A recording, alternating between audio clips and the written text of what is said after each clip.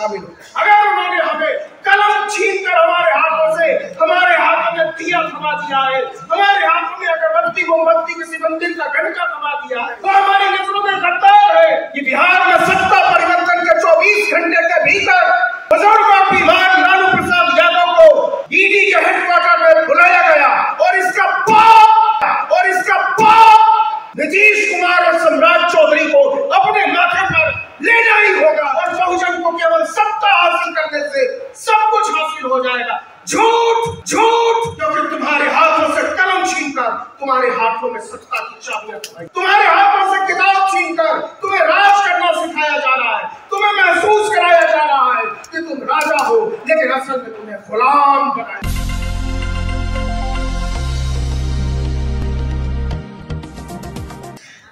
बेहद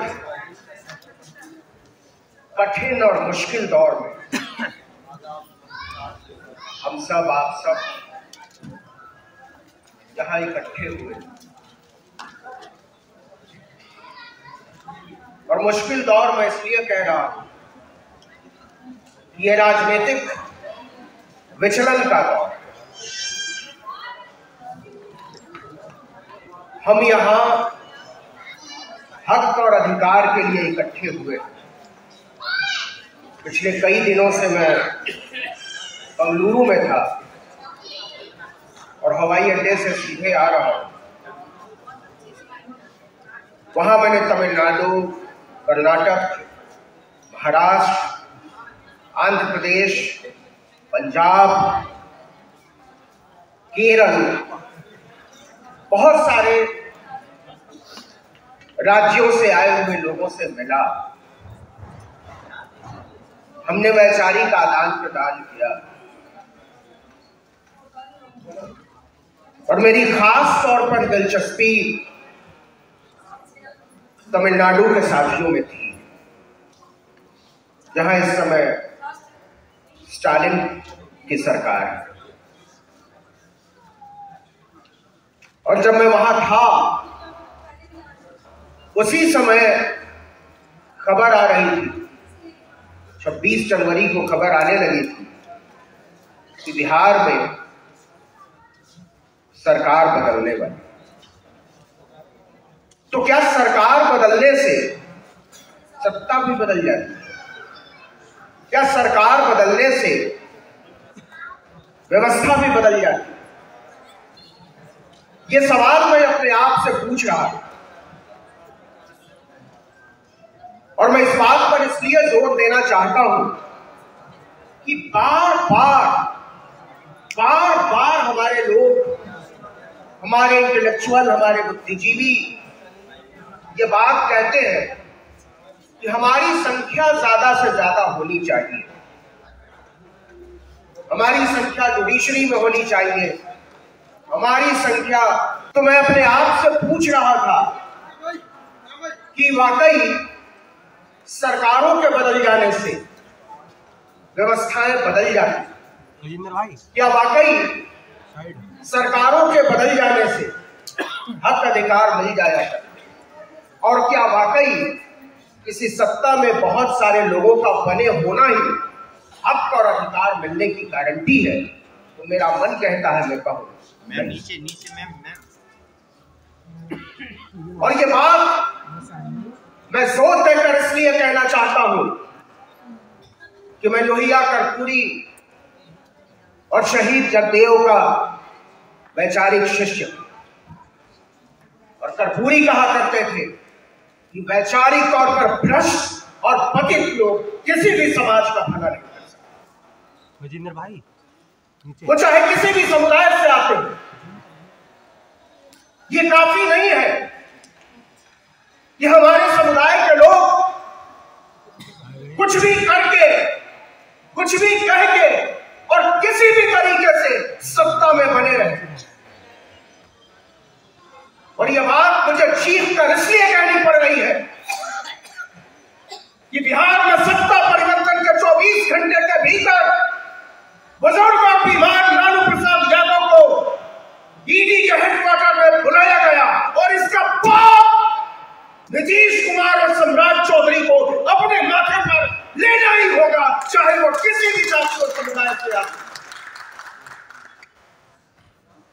वैचारिक तौर पर बेईमान लोग हमारी नुमाइंदगी करने का दावा करते हैं और इस दावे में शरीक होकर हमारी तरह के लोग भ्रष्ट न होते हुए भी उस भ्रष्टाचार में शामिल हो जाते हैं यह समझना पड़ेगा और समझना इसलिए पड़ेगा कि आज हम उस मुहाने पर खड़े हैं।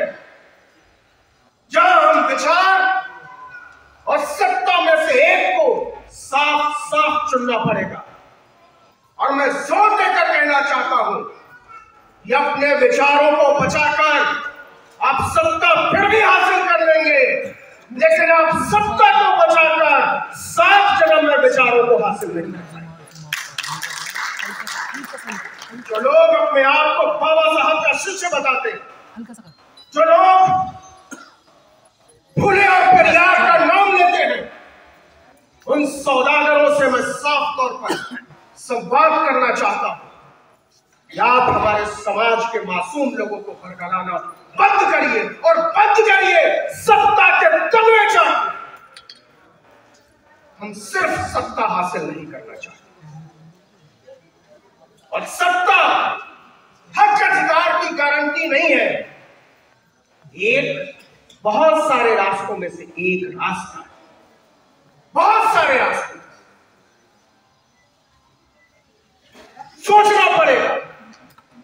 या आपको अपनी राजनीति बचानी है, या अपनी सत्ता बचानी है। मैं बाबा साहब के बेईमान चेहरों से कहना चाहता हूँ कि बाबा साहब को पढ़ो। अगर बाबा साहब ने इस्तीफा नहीं दिया होता हिंदू कोर्ट बिल के विरोध में तो आज हमारे सामने बाबा साहब का कद इतना ऊँचा नहीं। किन लोगों के लिए इस्तीफा दिया। किन लोगों के लिए सत्ता छोड़ी।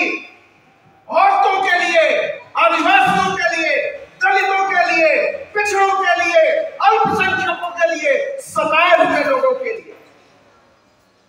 और बाबा साहब का वो इस्तीफा, सदियों की सीख थी, आज हमने उनके शिक्षाओं को रौंदा इसलिए मैं कहना चाहता हूँ कि बंद कीजिए, उन लोगों की तरफ़ देखना, उम्मीद भरी आँखों से, जिन लोगों ने सत्ता हासिल करने के लिए हमारे और आपके सपनों की सौदागरी की क्या लगता है आपको?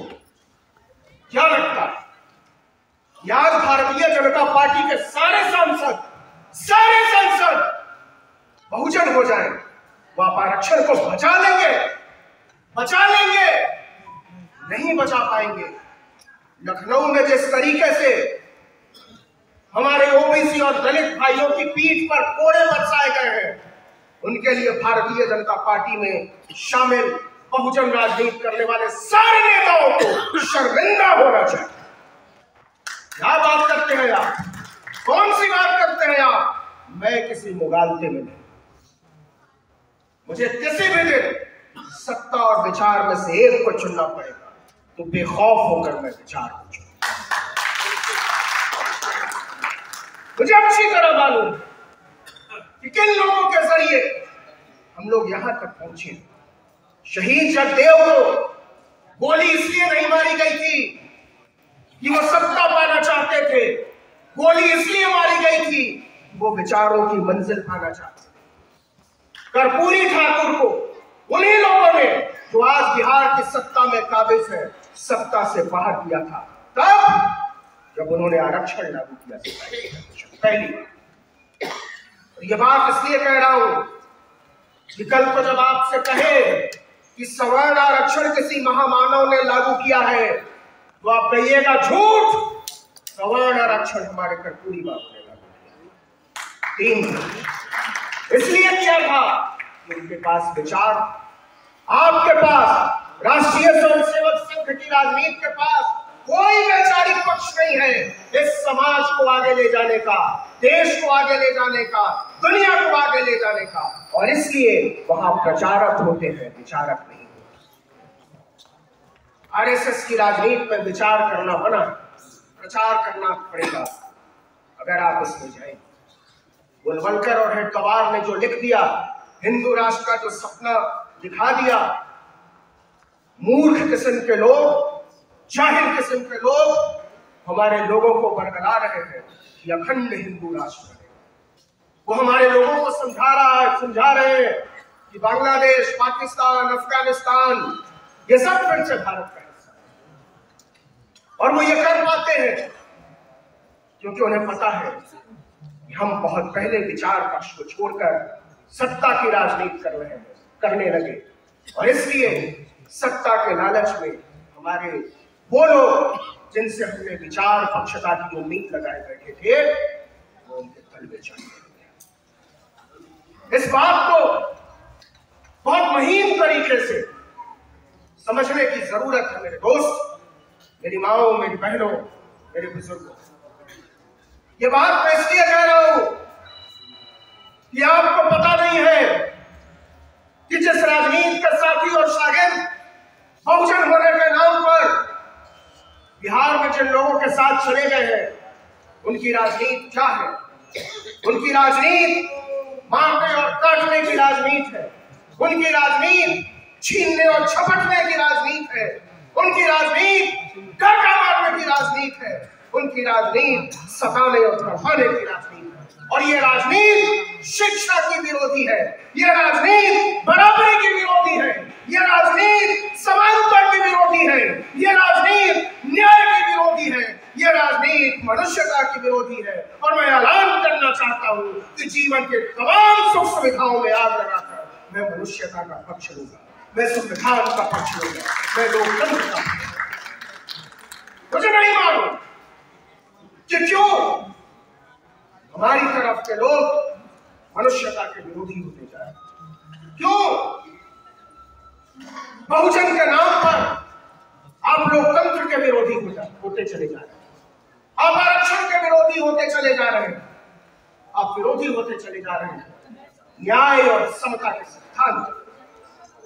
लेकिन यह कहना पड़े कि हम इसके विरोध में और इसलिए विरोध में है कि लोकतंत्र को खोकर संविधान के रास्ते को खोकर मैं पूछना चाहता जो लोग बिहार से लेकर उत्तर प्रदेश को, मध्य प्रदेश राजस्थान में बाकी राज्यों में बाबा बागेश्वर के पैरों में लोग दो दिन पहले एक बाबा ने दलित औरतों की तुलना सुअरों से उसने कहा है कि सुअर के पेट से कभी शेर का बच्चा पैदा नहीं मैं उस बाबा का नाम नहीं लेना चाहता, क्योंकि उसका नाम लेने से मेरी ज़ुबान गंदी होती है। लेकिन लेकिन लेकिन यह पूछने की ज़रूरत है, और चीख कर पूछने की ज़रूरत है। अगर हमारी माओ और बहनों की कोख से सुअरों के भी बच्चे पैदा होते तो वो शेरों को मात वो पापों को मात वो मनुष्य बनेंगे, वो बेहतर मनुष्य बनेंगे और तुम्हारी कुंडा सोच का मुकाबला मुझे पता है कि आप गालियाँ क्यों देते मुझे पता है कि आप हमें बुरा भला क्यों कहते आप इसलिए कहते हैं क्योंकि आप जानते हैं ये वो दौर है जिसमें आप हमारी सोच और समझ पर कब्जा करके ही अपनी सत्ता बनाए और ये बात इसलिए कह रहा हूँ कि ये लोग क्यों कर पाते हैं? ये लोग क्यों सोच पाते हैं ऐसा? आप कहते हो कि सत्ता हासिल करना मेरा लक्ष्य है और बहुजन को केवल सत्ता हासिल करने से सब कुछ हासिल हो जाएगा। झूठ! क्योंकि तुम्हारे हाथों से कलम छीनकर तुम्हारे हाथों में सत्ता की चाबियाँ थमाई जा रही तुम्हारे हाथों से किताब छीनकर तुम्हें राज करना सिखाया जा रहा है, तुम्हें महसूस कराया जा रहा है कि तुम राजा हो, लेकिन असल में तुम्हें गुलाम बनाया। मानसिक गुलाम। आप सोचो कि किन लोगों के लिए निजी यूनिवर्सिटीज खोली जा रही है? आप पढ़ा लोगे क्या? अशोका यूनिवर्सिटी में अपने बच्चों को एक साल की फ़ीस कम से कम दस लाख रुपए है। आप पढ़ा लोगे अपने बच्चों को? एमिटी यूनिवर्सिटी में? आप पढ़ा लोगे अपने बच्चों को? गर्गोटिया यूनिवर्सिटी में? नहीं। लेकिन देश की शानदार विश्वविद्यालयों जिसको बनाने में आपका कोई रोल नहीं जवाहरलाल नेहरू जामिया मिलिया, इस्लामिया, अलीगढ़ मुस्लिम यूनिवर्सिटी इन सब विश्वविद्यालयों को, और ऐसे तमाम विश्वविद्यालयों को ये खास पैटर्न के तहत बदनाम किया जा रहा है। बदनाम इसलिए किया जा रहा है, और आधा आपको समझा दिया गया है कि वहाँ अपने बच्चों को मत भेजना, वहाँ देशद्रोही ऐसा इसलिए किया जा रहा है इन विश्वविद्यालयों में पहुँचने से उनको दिक्कत आप जाओ दिल्ली यूनिवर्सिटी आपने प्रोफेसर रतन लाल का नाम सुना। जब आप रतन लाल के घर जाएँगे तो उनके घर से थोड़ी ही दूरी पर एक रिलैक्सो सेंटर जब भी मैं उनके घर जाता हूँ, मुझे वो रिलैक्सो सेंटर खटकता है। और मेरी समझ में नहीं आता कि एक यूनिवर्सिटी में जूते चप्पल बनाने वाली कंपनी का क्या काम वो जूते चप्पल का सेंटर नहीं है। वो आपको जूता चप्पल मारना चाहिए और इसके लिए यूनिवर्सिटीज को ही जूते चप्पल की फैक्ट्री में बदलना चाहिए आपको अंदाज़ा नहीं हमको जहाँ खड़ा कर दिया गया, हमको जो बनाया जा रहा, हमको जो समझाया जा रहा, वो आखिर में पहुंचेगा उसका अंजाम क्या? उसका आने वाली नस्लों पर असर क्या? इसलिए मेरे दोस्त, मेरे भाई, मेरे बुज़ुर्गों, मेरी माओ, मेरी बहनों अपने आप को नहीं, अपने आने वाली नस्लों से नज़रें मिलाओ, अपने बच्चों से नज़रें मिलाओ, उन लोगों से नज़रें मिलाओ जो तुम्हारी नज़रों में आँख में आँख डालकर कह रही है। हमें बचाओ हमें बचाओ हमें बचाओ। लेकिन क्या आदमी को बचाना सिर्फ़ एक शरीर को बचाना है या फिर उम्मीदों को बचाना है, विश्वास को बचाना है, अधिकार को बचाना है?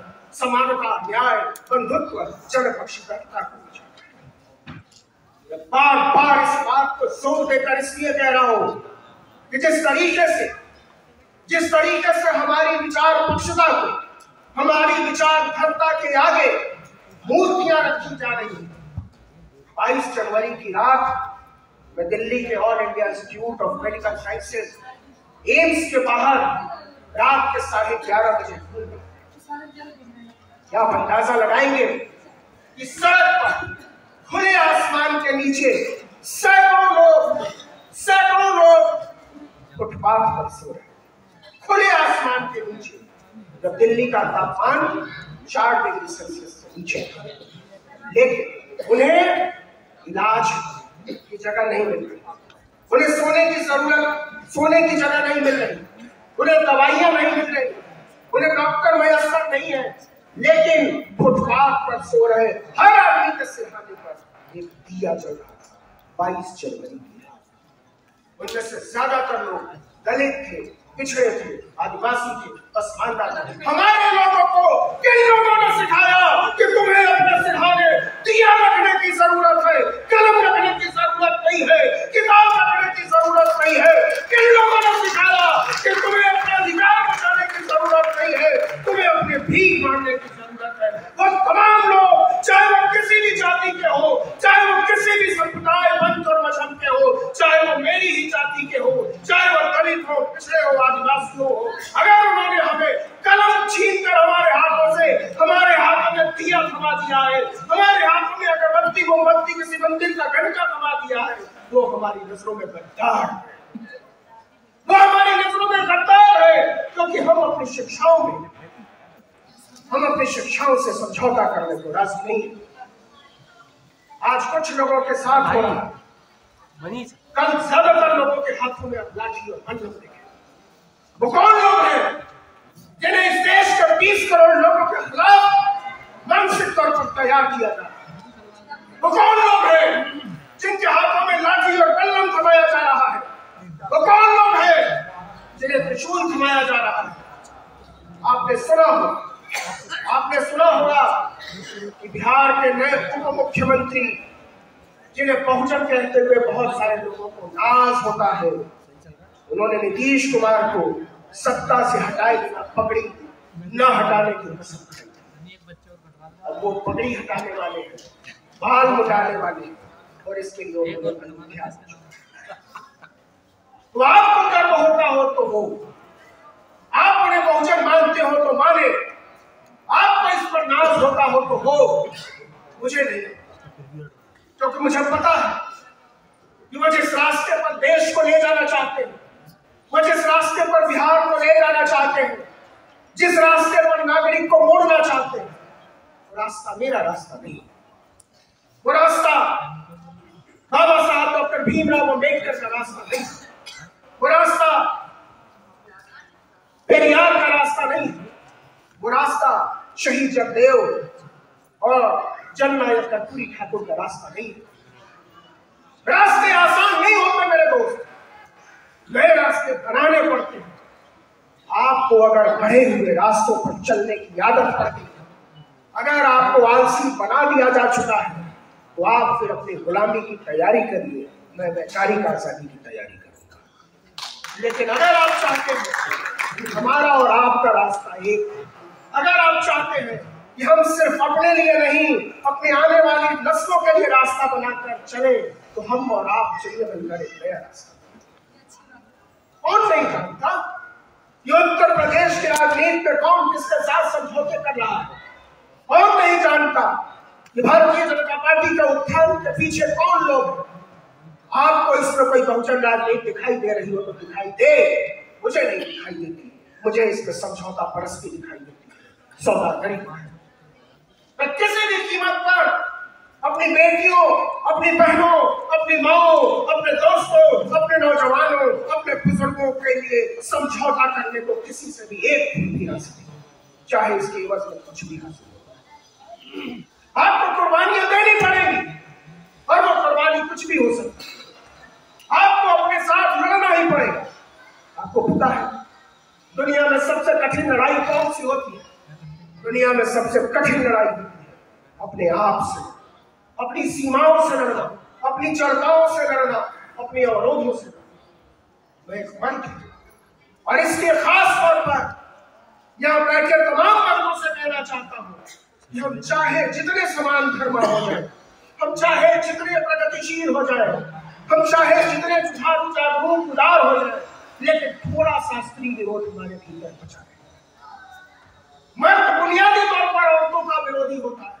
हम सीख रहे हैं, औरतों को अपने समान महसूस करें। यही वजह है कि इस हॉल में भी पुरुषों की तादाद ज़्यादा है, महिलाओं की तादाद कम है, क्योंकि हमारे पुरुष औरतों को अपने बराबर का दर्जा देने को तैयार नहीं है।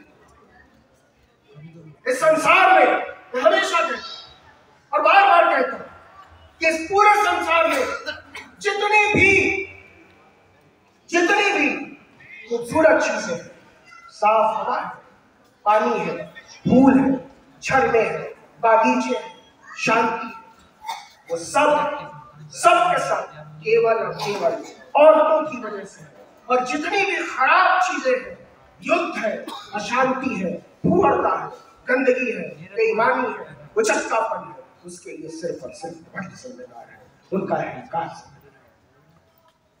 हमको समझना पड़ेगा हमको बराबरी के दायरे का विस्तार करना पड़ेगा मैं आपको खुश करने के लिए नहीं। हमारा काम लोगों को खुश करना नहीं।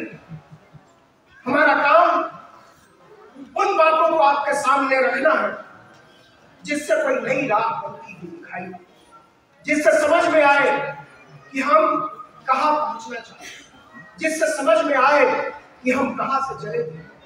इसलिए आखिर में मेरे भाई, मेरी माओ, मेरी बहनों मेरे साथियों, सिर्फ़ इतना कहना चाहता हूँ कि ज़रूरी नहीं है कि हम सत्ता हासिल करें। ज़रूरी है कि हम समझदारी हासिल करें। ज़रूरी है कि हम विचार हासिल करें। अगर आपको दिए और कलम में से एक को बचाना पड़े तो आप पहले कलम को बचाना दिए की लौ को बुझने देना दिया फिर चलेगा। और दिए का मतलब केवल ज्ञान दे दिया ये तमाम बाबाओं की कतारें जो लग रही है, वो इस देश के संविधान के खिलाफ, वो समानता, न्याय, बंधुत्व के विचार के खिलाफ, इस पूरे देश में, इस पूरे देश में किसी का भी काम, किसी भी बाबा के बिना चल सकता है।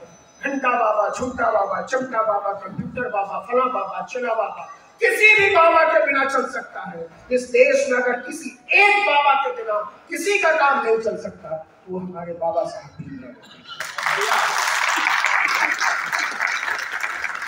इसलिए तमाम बाबाओं को खारिज करो, ताकि हमारे इकलौते बाबा को बचाया जा सके। इसके अलावा अपने आप को बचाने का, इस देश को बचाने का समानता न्याय और बंधुत्व के विचार को बचाने का कोई रास्ता नहीं है। तो करा के जला के बस्ती करा के गंगा जला के बस्ती मुआवजा बांटता है जो वह उठो के मिलजुल कर हमको उसका खाना बहुत बहुत शुक्रिया। आपको